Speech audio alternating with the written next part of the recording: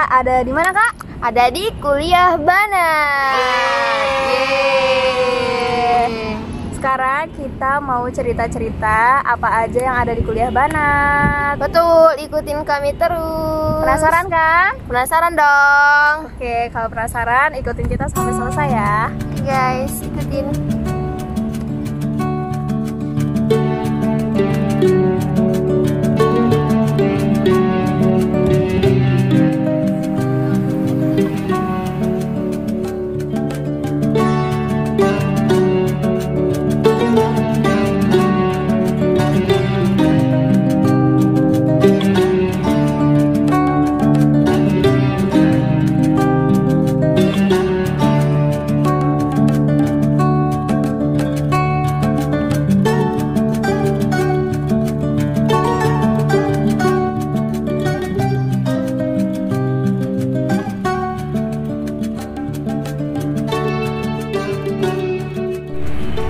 Guys, jadi sekarang kita berada di depan gedung Fakultas Dirosat Islamiyah. Fakultas Dirosat Islamiyah adalah Fakultas Agama Islam di Kuliah Banat yang mencakup beberapa jurusan, yaitu Syariah Islamiyah, Syariah Wal Qanun, Sastra Bahasa Arab, dan Usuluddin. Nah, di jurusan Usuluddin ini terdapat sedikit perbedaan dengan jurusan-jurusan yang lainnya, yaitu adanya pengkhususan di tingkat 3 dan 4. Jadi, para mahasiswi di tingkat 3 harus memilih pengkhususan tersebut, baik tafsir dan ulumul Quran, ataupun hadis dan ulumul hadis, ataupun akidah dan filsafat.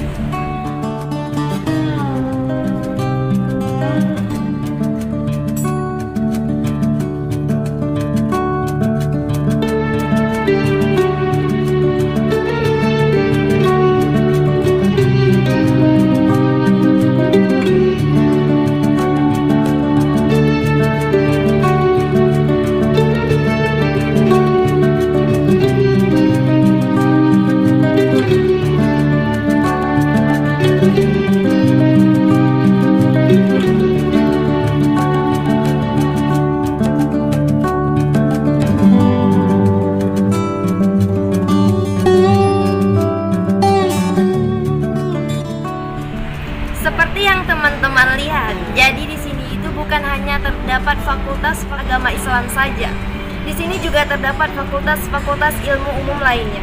Contohnya adalah Fakultas Kedokteran, Fakultas Aswaidalia atau Farmasi, Fakultas Dirosat Insania, Fakultas Ilmu Sains, Fakultas Teknik Sipil, dan lain-lain.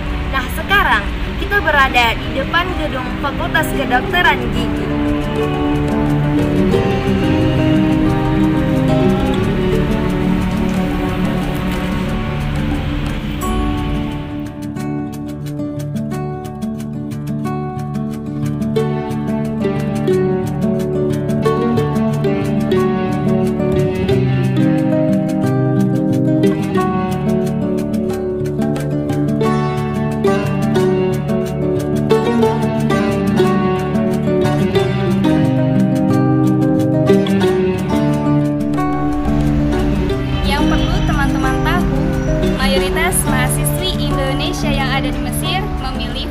Fakultas Dirosat Islamiyah, terkhusus di jurusan Syariah Islamiyah, Usuluddin, dan Sastra Bahasa Arab.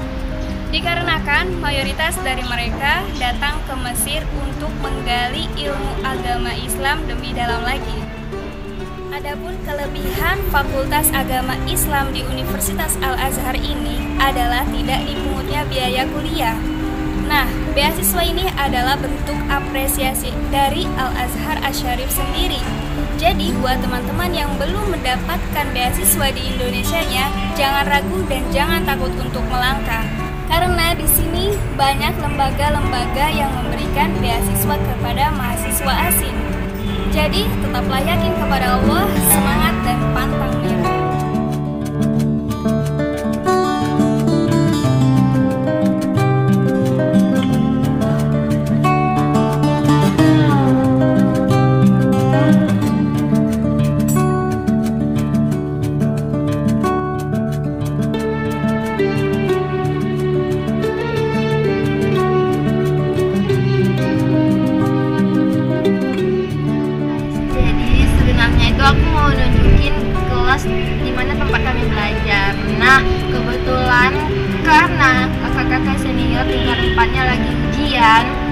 jadi kami tuh nggak dibolehin masuk karena ditakutkan mengganggu ketenangan ujian kakak-kakak senior. Jadi aku sedikit cerita aja tentang uh, kelas kami ya.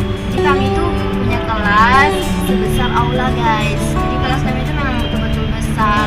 Uh, dan di situ campur orang Mesir dan orang Indonesia nya nah jadi walaupun udah sebesar itu tuh kelasnya bangku nggak pernah kosong guys. Selalu aja dipenuhi dengan orang-orang yang bersemangat dalam belajar. Nah jadi kita itu harus on time datanya kalau kita nggak on time bisa-bisa kita itu nggak dapat tempat duduk. Nah bahkan sebagian dukturoh itu melarang kita masuk kalau kita itu terlambat datangnya. Jadi betul-betul harus on time. Jadi juga sedikit yang harus kalian ketahui teman-teman. Bahwasanya orang-orang Mesir itu rajin-rajin banget guys belajarnya sampai-sampai. Itu kalau udah selesai jelasin dokterohnya mereka itu rebut-rebutan mau tanya-tanyaan guys. Nah itu adalah hal yang perlu dicontoh dari semangatnya orang-orang Mesir dalam belajar. Oke okay, guys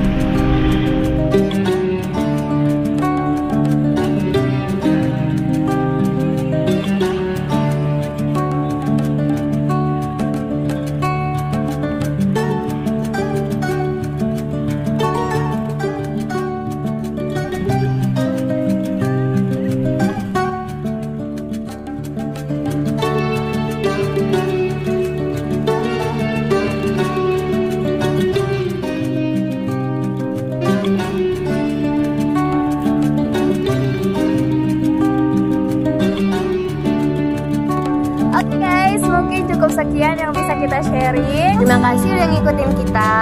Thanks, Thanks for, watching. watching and jangan lupa like. Kalau kalian suka video kita, komen buat ide-ide video selanjutnya. Share. Lalu jangan lupa klik tombol subscribe. And the last, assalamualaikum warahmatullahi wabarakatuh.